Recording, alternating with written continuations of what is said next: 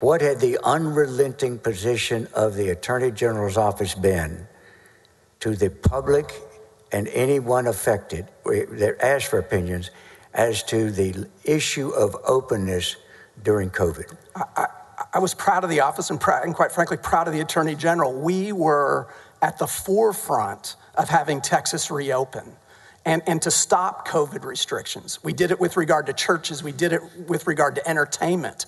So we, we were the ones pushing to open Texas back up. That was, the, that was General Paxton's policy, that was the office's policy.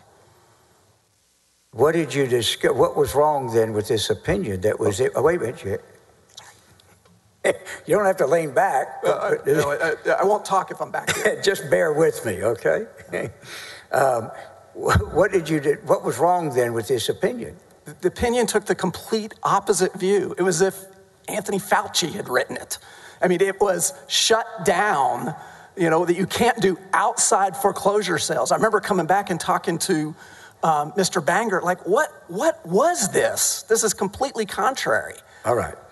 So, for those who believed it should have shut down, shut down, that would have been a good opinion, right? Well, I mean, but again, this is August. This isn't April.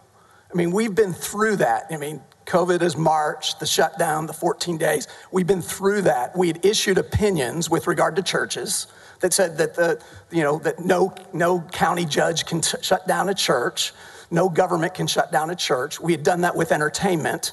I mean, this, to me, this was in line with all that. And, and my question is based no matter what side of that issue a member of the public, Senate, or anyone else came down on, are you testifying that to help Nate Paul, Mr. Paxton directed an opinion that was totally contrary to his and the, his administration's policy and his public statements on a regular basis? Your Honor, I'm sorry to interrupt again, but that is leading, absolutely leading. I'll rephrase. I'll rephrase. Sustained.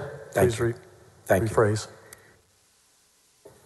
Put it in your words as to whether, no matter which way one person came down on the issue, what was the import of the seriousness of that opinion? Well, it, it was contrary to what I believed Attorney General Paxton believed and what had been the office of the policy. It was completely contrary.